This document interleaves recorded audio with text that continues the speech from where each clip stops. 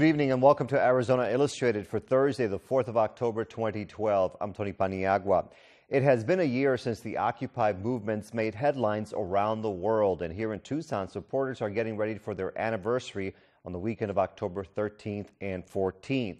However, even though the effort may be out of sight and out of mind for millions of people, Occupy participants are still meeting every Wednesday night in downtown Tucson, where they tackle multiple topics during their general assemblies. It's a weekday night in downtown Tucson, and much of the indoor activity here is happening in well lit office buildings or other structures. While outside, most people are in transition, traveling from one point to another in the comfort of their cars. However, with little more than the light from a few computers, cell phones, or Mother Nature above, a group of activists is embarking on a very different type of journey. This one requires you to be stationary for a while, even though it's part of a movement that has attracted like minded people around the world. I just posted something also on YouTube with Mary's 9 uh, 11. They are supporters of Occupy Tucson, but instead of colonizing parks with tents and sleeping bags, many arrive on bicycles and just take a seat for a while, putting democracy to work. Was there any other working group reports, David? The participants come from different backgrounds and experiences, but they share some common concerns. Well, I think the thing that we're learning and the thing that the message that's been trying to get through to the country as a whole for the longest time is it's not what officials you elect that are going to change the world around you. It's the actions that you make in your own world. Um, I've been gone for quite a while now, actually. I've been to Occupy San Diego, Occupy LA, Occupy Chicago, Occupy Memphis, Occupy Wall Street. Just to let everybody know the movement isn't dead. I've been to all across the country, and it's just as much happening right now as it was a year ago. And their worries cover a broad spectrum, from global warming and healthcare to the financial crisis and military interventions overseas and my personal preference, if I were king or tsar or something, is that we would shut down every military base that is not within the continental United States and bring all of our people, not all of our soldiers, but just all of our people home. That we would shut down every foreign corporation that has any involvement. Just pull out.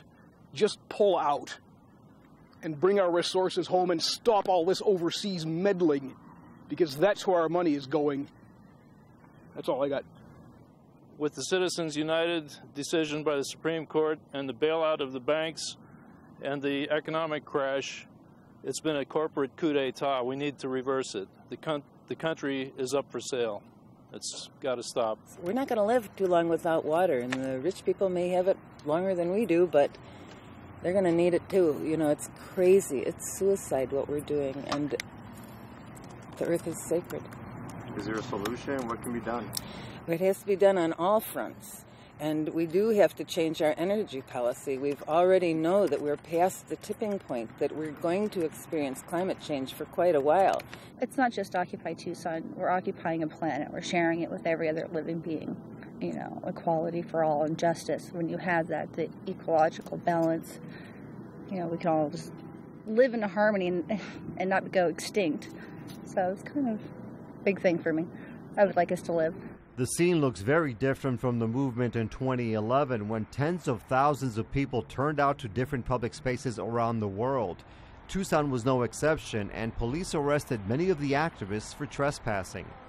Still, groups such as this one remain committed one year later. I do it by coming into the office during the week and to coming to GAs and to going to meetings where we discuss things and where we plan things. That's how we do it, and it's going to take a long time. So, are you finding that enough people care about these issues? Oh yeah, because I'm on Facebook and Twitter uh, daily, and my um, my um, my readership base is uh, growing on a daily basis. So, and, uh, and it isn't just uh, people here, it's people worldwide. And here in southern Arizona, they are doing their part. While most other people are busy and oblivious to these gatherings nearby, these activists occupy their minds with serious issues and a fervent desire to effect change.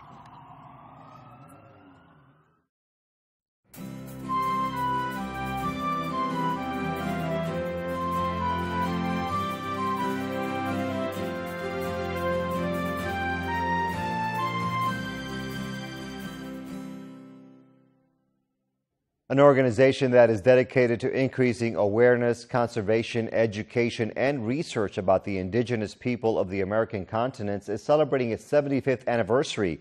The Amerind Foundation is located near Willcox, Arizona, and it is holding a series of seminars this month to commemorate this major milestone. Here is more about the foundation.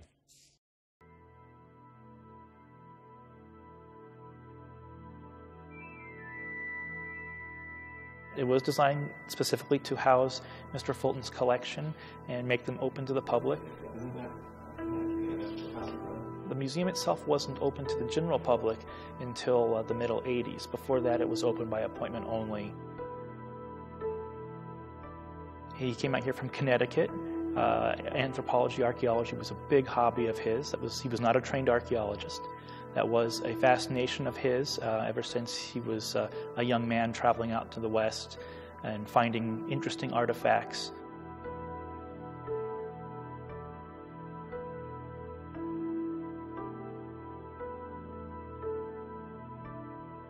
He moved out here with the family, built this wonderful museum and the house that's up on the hill here.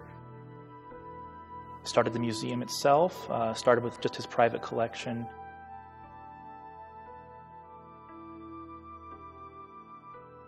Museum itself, the foundation, undertook a lot of excavations around the region here um, and all over um, southern Arizona and into northern Mexico. Um, the signature project that the Amerind Foundation undertook was the Joint Casas Grandes project, and that was in uh, Chihuahua, Mexico, um, just about uh, a four hour drive southeast of here. And that was a uh, 13th century archaeological site and complex that was a three year project.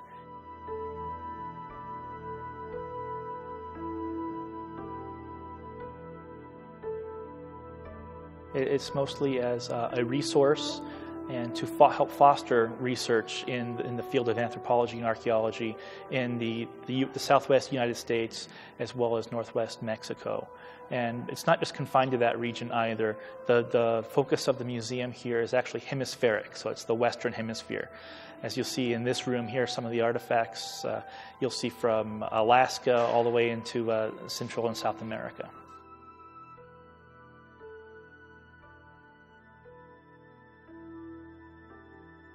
Well, in here I'm rather fond of the Casas Grandes uh, ceramics. Um, the, the, ceramics really were one of the one of the great pieces of art from that culture, and actually influenced some uh, contemporary ceramic production in Chihuahua in the village of Mata Ortiz that's down there. Well, the buildings here were, were, built not long after the, the foundation was started, so you're looking at the, the middle to late 30s for a lot of these buildings. These buildings were designed by a Tucson architect named uh, Merritt Starkweather. Uh, the, the, museum itself was built um, as a museum. A lot of folks come here on their first visit and say, oh wow, what a wonderful home this was. And the home is actually up on the hill, and that's uh, what we call now our Fulton Seminar House. But the museum itself was built as a museum.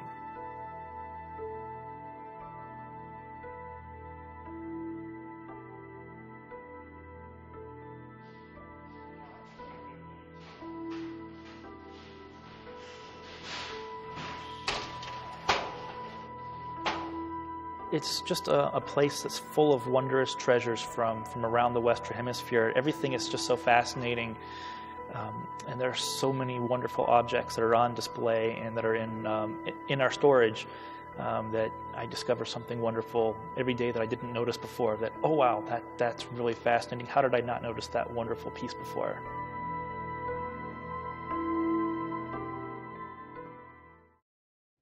In celebration of eco living and sustainability, the Free Earth Harmony Festival is taking place this weekend in Tumacacori, Arizona, which is north of Nogales.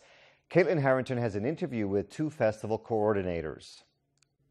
In studio with me now is Maisene Plyler and Amadon DellErba, both festival coordinators for the upcoming Earth Harmony Festival. Thank you both for joining me today. Thanks for having us. Um, Maisene, begin with telling us what this festival is all about and when and where it will take place. Sure. Um, it's coming up this weekend, Saturday and Sunday, October 6th and 7th. Uh, it's the Earth Harmony Festival that um, is really about um, helping to people to understand um, how to create harmony with the earth as well as with each other.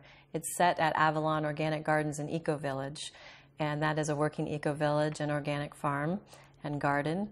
And um, so everything that happens there is about creating sustainability and harmony with the earth. And it's a way to really share um, what all that is with people because we feel that that's really needed in what's happening with the world today and the economic times that we're in. Um, really encouraging people to learn to grow their own food and um, have less impact on the earth um, and Mother Nature. and Amadon, can you give me a little bit of history on Avalon Gardens and what an eco village is? Sure. Avalon Organic Gardens and Eco Village was started about 23 years ago in Sedona, Arizona by my parents, uh, Gabriel of Urantia and Niánn Emerson Chase. We started uh, this gardens to really encourage people to start learning about how to live in harmony with nature and have less impact on this earth. And today it has evolved um, into the Earth Harmony Festival, which really encourages people to do all of these things because, as we know, the economy is getting rough and American society uh, really breeds a lot of competition and we are trying to teach people to come out of the age of competition into the age of cooperation, and that we need to live with less impact. And so an eco village is really an environment where people can come together and do that. And so we are building, uh, doing a lot of green building, alternative building, and we're on land, 165 acres, where we can do that. And so we have, you know, we do carpooling, we do rainwater harvesting, we do gray water harvesting, we grow all of our own organic vegetables, we have dairy products, we have our own animals. And so we're able to create an environment where we're creating our own little micro ecosystem. And it was started in Sedona and has evolved, like I said, over the years into this festival, which is the first year we're doing it in Tumacacori, Arizona, on our land, and it's looking really good. We have a lot of campers coming, and we really want to teach people about what it is to live in harmony. And one of one of those things is that you need leadership. You know, you need leadership to start an eco village, to start a community. Uh, you can you can start one, but to maintain one, to keep one going like we have for 23 years, takes a lot of leadership. And so we want to have people come to our eco village, be immersed in the environment where they can learn about that and see for themselves.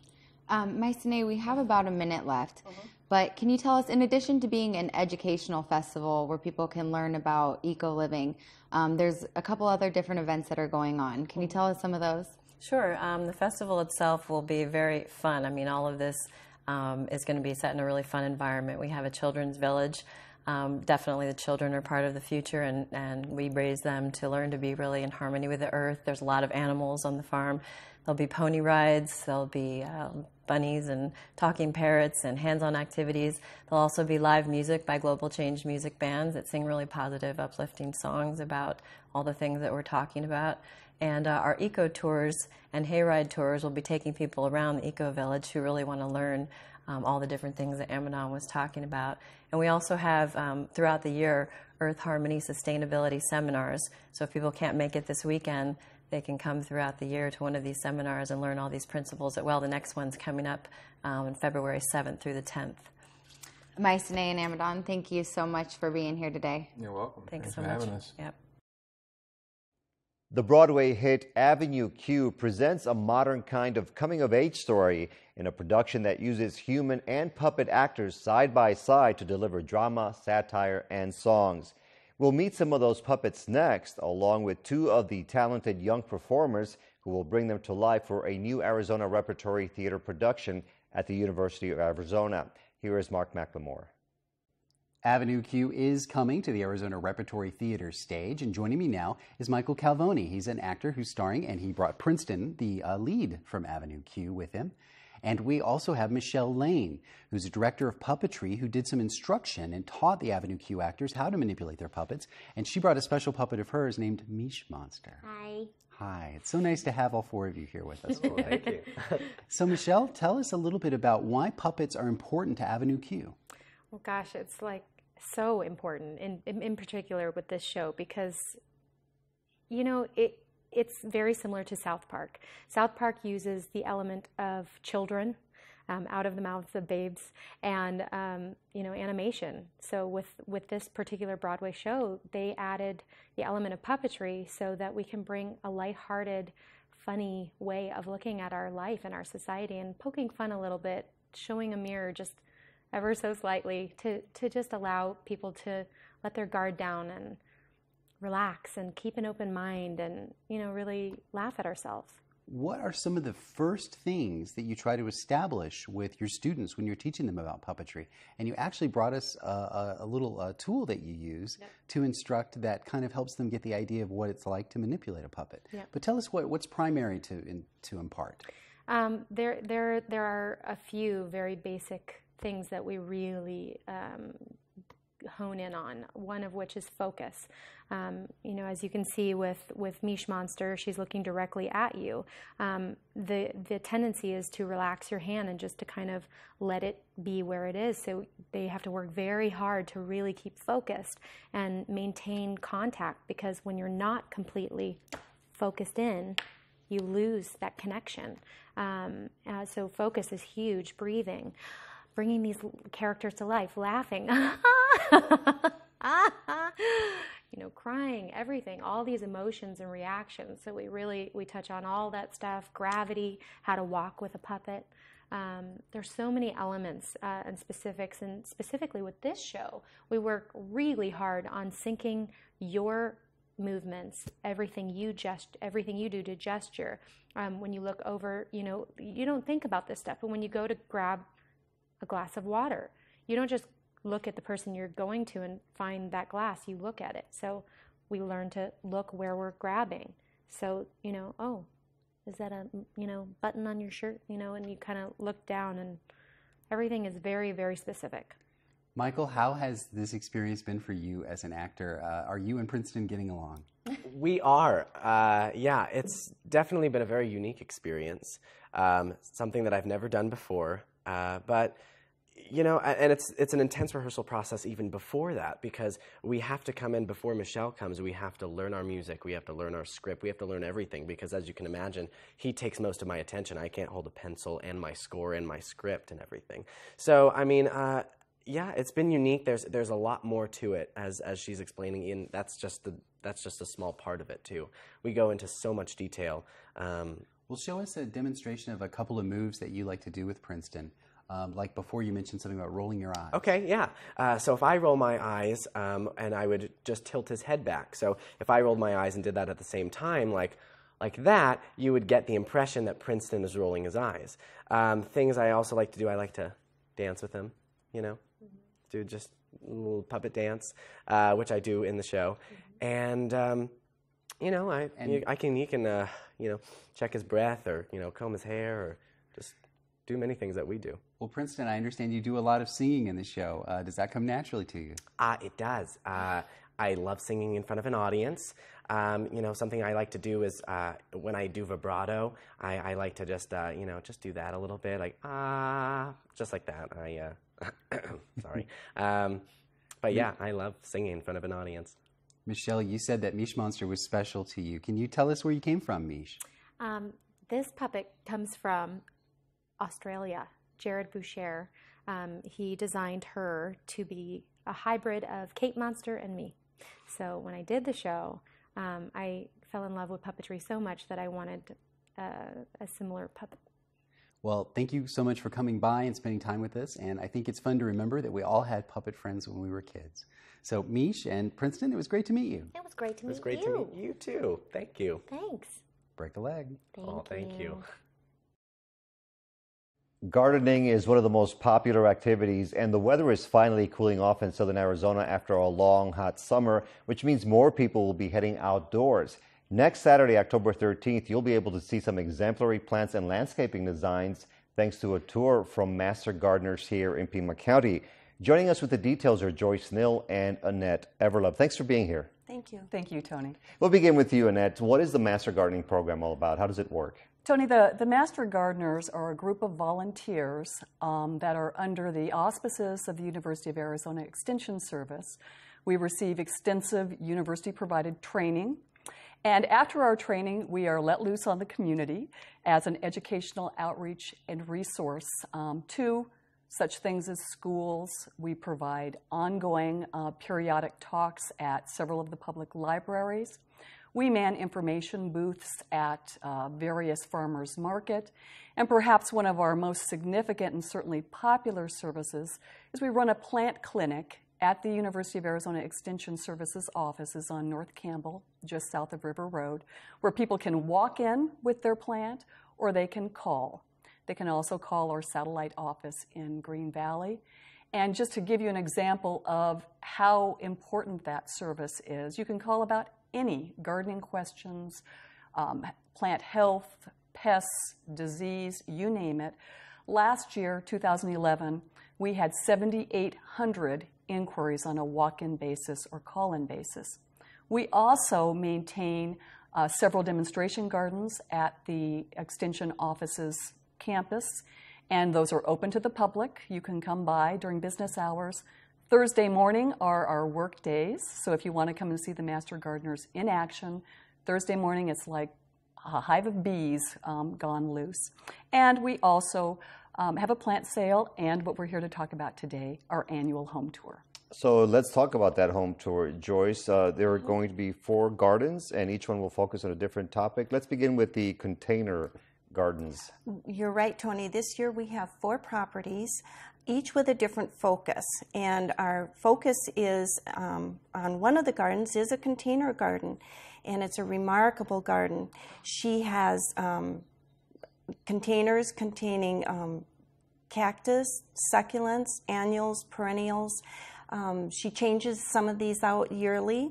She's going to be able to provide fertilizing tips, uh, planting tips. She also has um, hanging baskets, which usually do not perform very well here in Tucson, but this particular um, homeowner has done a really fabulous job in her backyard. Okay, and you have uh, fruits, vegetables, and irrigation. Let's talk briefly about each of those, please. All right.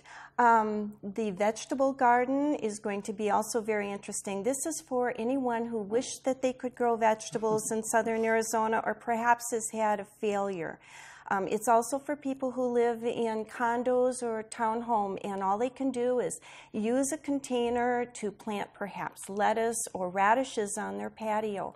But we'll be talking about site selection, irrigation, composting, um, insects, everything at that particular garden.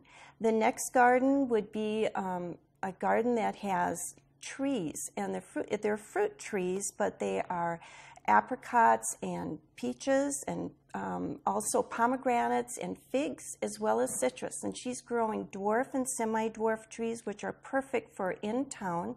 And she's growing them in pots and also in ground. She is uh, going to give classes on how to care for, what to look for, and how to actually get fruit off those trees.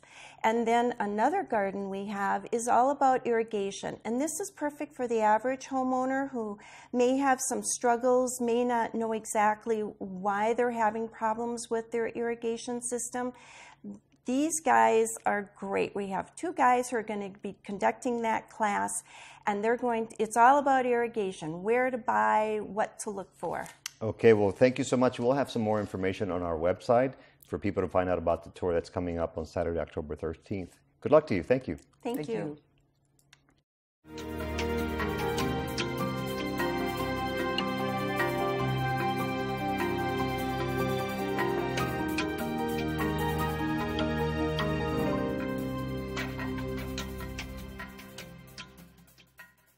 Now we go to our weekly segment from Demion Clinco, the president of the Tucson Historic Preservation Foundation.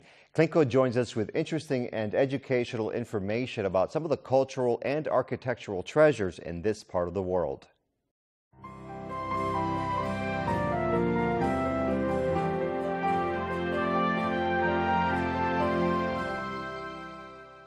Tucked into a quiet neighborhood where Tucson Boulevard ends at the Rillito River is a fairy tale garden called Valley of the Moon. The Valley of the Moon, conceived, designed, and built by George Phar Legler between 1923 and 1932, is an expression of the surge in popularity of spiritualism following World War I, the sensation surrounding the sighting and photography of fairies in the United Kingdom, popularity of fairy tale and fable literature, and the prominence and accessibility of exotic European fantasy architecture in silent cinema in the second and third decades of the 20th century. The tale of George Phar Legler seems derived from fairy tales. His early childhood involves a wicked stepmother, stowaways, and an influential shoemaker. Consumed by legends, spirits, and fairies, he became an inseparable part of his own mythic landscape, which he began to create at the age of 38. A guide, narrator, self described mountain gnome, and resident of the Enchanted Garden, Legler transformed himself over time into one of the roles of his own fable a cloaked figure who for years lived in underground caves on the property, surviving on nothing but milk. Despite his reclusive life, he was celebrated as a folk hero in newspapers and magazines, including Life.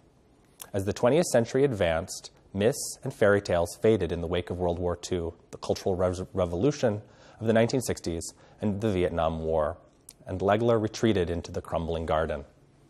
An anachronism of a bygone era, he became a hermit, disappearing into the overgrown grounds unheard of for a decade. In the 1970s, a band of high school students with faded memories of childhood moonlit excursions into the park climbed the fence and found the elderly, frail Legler barely alive. Like Rip Van Winkle awakening from sleep, the students extracted him from the deteriorating terrain and nursed him back to health. Then, the students and the 90 year old gnome worked together to restore the property. Upon Legler's death, at almost 100, the students inherited a foundation and the responsibility as stewards to guard the garden in perpetuity. In 2010, a National Register nomination was submitted for the Valley of the Moon, which will be decided sometime this year. For times and operation and information regarding tours and special events, please visit valleymoon.info.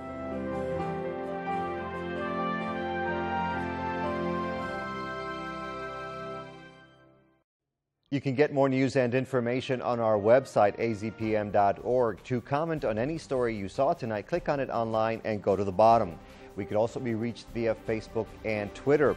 Coming up tomorrow night, Jim Nintzel will join us with the Arizona Illustrated Political Roundtable, where he and his guests will cover some of the top political news in our region. I'm Tony Paniagua from all of us at Arizona Public Media. Have a great night.